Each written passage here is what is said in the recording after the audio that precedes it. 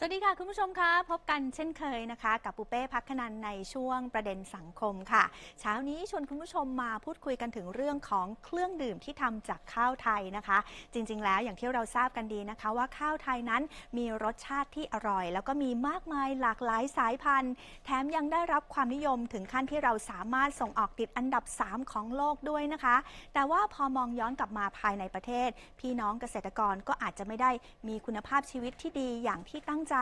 ยังต้องเผชิญกับปัญหาในเรื่องของหนี้สิน แล้วก็เรื่องของความยากจนนะคะ จึงเป็นเหตุให้หลาย ๆ หน่วยงานนะคะ พยายามที่จะหาทางแก้ไขในเรื่องนี้ และหนึ่งในนั้นก็คือ Your Rice Cafe นะคะ ซึ่งเขามีประสบการณ์ในเรื่องของการทำงานเกี่ยวกับข้าวเนี่ยมาหลายสิบปีเลยทีเดียวค่ะ Your Rice Cafe ได้มองเห็นปัญหานี้ และยังมองไปว่ายังมีปัญหาในเรื่องของการขาดแคลน เรื่องอาหารของคนชายขอบที่อยู่ในค่ายอพยพช่วงโควิด -19 ด้วย ทีนี้จะแก้ปัญหานี้ยังไงล่ะคะ จะหาการระดมทุนนะคะ ช่วยเหลือเป็นครั้งๆก็สามารถทำได้ แต่ว่ามันไม่ยั่งยืนค่ะ ก็เลยมองว่าถ้าหากว่าเรานำเอาองค์ความรู้เรื่องข้าวนะคะ มาพัฒนาต่อรูปแปลยอด ก็น่าจะสร้างงานสร้างอาชีพสร้างรายได้ได้อย่างยั่งยืน ดังนั้นจึงจะพาคุณผู้ชมนะคะ ไปพบกับเรื่องราวของเครื่องดื่มที่ทำจากข้าวไทย ใส่ใจคุณภาพเกษตรกรด้วยกันค่ะ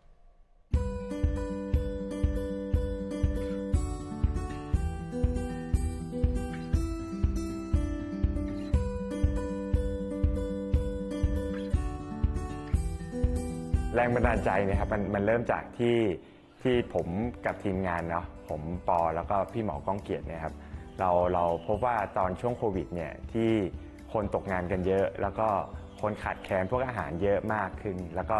มีพวกเอ่อ SSRC Chan State Refugee Committee เนี่ยฮะเขาก็รีเควสแล้วก็เขาเขาต้องการความช่วยเหลือเรื่องข้าวเรื่องเรื่องอาหารเรื่องพวกนี้ฮะเข้ามาเราก็ ระดมทุนกัน พอเราระดมทุนเรื่องขอข้าว เราไม่ได้ขอข้าวปกติเราขอข้าวหัก เพราะว่าเขาบอกว่าจริง ๆ ข้าวหักอะมันก็มีประโยชน์มันก็กินได้เหมือนกันเขาก็เลยเราพวกเราก็เลยร่วมกันระดมทุนตัวข้าวหักนี้ขึ้นมาฮะแล้วก็ได้เงินสนับสนุนมาอีกประมาณล้านกว่าบาทเนี่ยครับแล้วก็เราก็เอาข้าวหัก แล้วก็เอาเอาเงินสนับสนุนพวกนี้ไปให้พวกค่ายอพยพทั้ง 6 แห่งครับ แต่ก็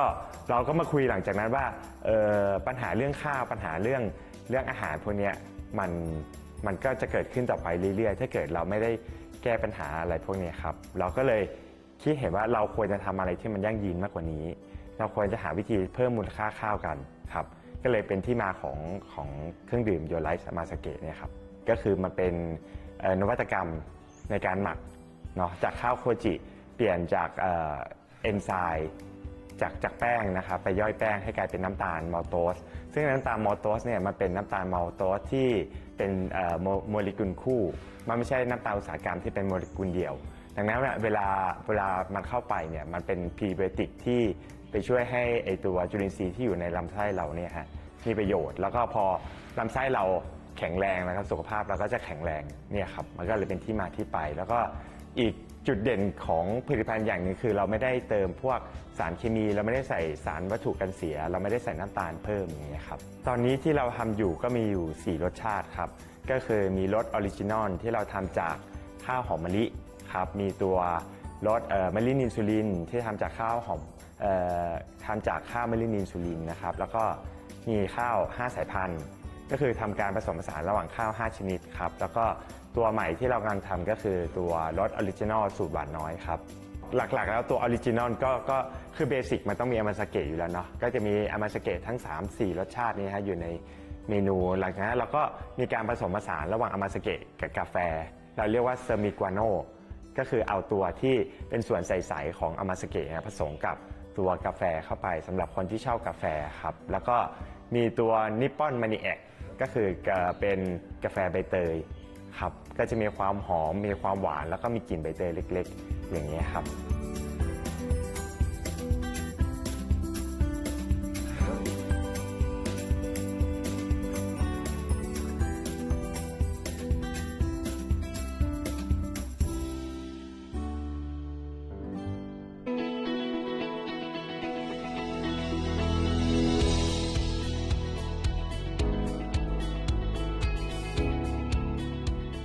เอ่อจริงๆ เราทำงานกับเกษตรกรก่อนที่เราจะมาทำตัวโยไลซ์อามาสเกะฮะก็คือคุณหมอก้องเกียรตินะเขาทำงานกับเรื่องข้าวเนี่ยมาเป็น 10 ปีแล้วฮะแล้วก็พวกผมมาผมกระปอก็เลยเข้าไปช่วย ไปช่วยดูแล ไปช่วยดูงาน แล้วก็ไปศึกษามาว่าก่อนหน้านี้แกทำอะไรบ้างเนาะคือก่อนหน้านี้แกก็ไปทำงานกับเกษตรกรที่อีสานกุชินารายนะครับ ก็คือเปลี่ยนแกมีไอเดียที่ว่าชาวนาเนี่ยเขาปลูกข้าว เขาจะต้องกินข้าวที่เขาปลูกเองครับ แล้วก็แกก็เลยไปเปลี่ยนจากเกษตรเคมีกลายเป็นเกษตรอินทรีย์ครับ แล้วก็ตอนนี้ทางกุชิอะไรเขาก็ได้รางวัลเกษตรดีเด่นเขาก็พัฒนายกระดับข้าวของเขาไปข้างหน้าแล้วครับ หลังหลังจากที่ที่เราเราประสบความสำเร็จในการทำงานร่วมกับเกษตรกรที่อีสานเนาะ แล้วก็เราเป็นคนเชียงใหม่ พื้นฐานเราเป็นคนที่นี่เราก็เลยคิดว่าเราลองยกโมเดลไอ้ตัวเนี้ยมาทำที่เชียงใหม่บ้างครับ ตอนนี้ที่เราทำงานอยู่ก็มีอยู่ที่ฝางครับ ก็คือเราอยากจะเปลี่ยนให้เกษตรกรที่เปลี่ยนจากเคมีเปลี่ยนเป็นเกษตรแบบไร้สารปลอดสารก่อนครับ แล้วก็ค่อยยกระดับจากปลอดสารให้เป็น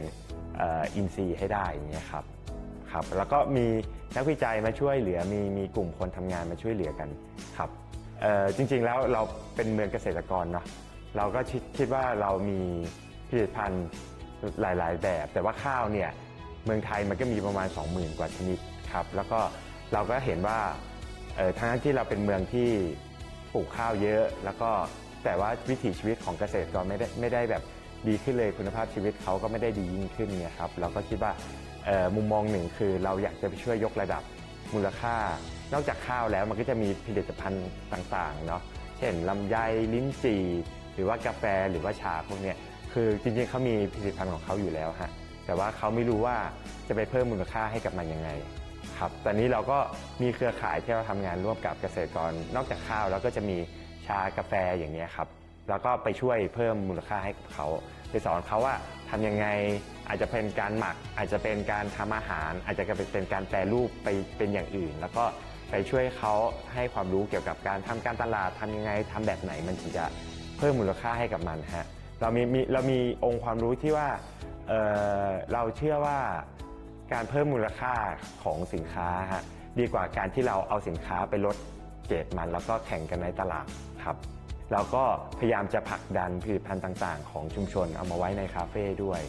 ครับล่าสุดเราก็เพิ่งเอาตัวน้ำผึ้งของห้วยหินลาดในเนาะก็ก็เป็นถือว่าเป็นชุมชนที่ได้รับการยอมรับจากยูเนสโกอะไรเงี้ยฮะแล้วก็พยายามเอาผลักดันเอาตัวผลิตภัณฑ์ต่างๆ ของเกษตรกรมาไว้ที่เราด้วยฮะก็จะมีชากุหลาบจากเเเชียงดาวด้วยอย่างเงี้ยฮะแล้วก็พยายามนำพวกเนี้ยเข้ามาอยู่ในคาเฟ่เราครับ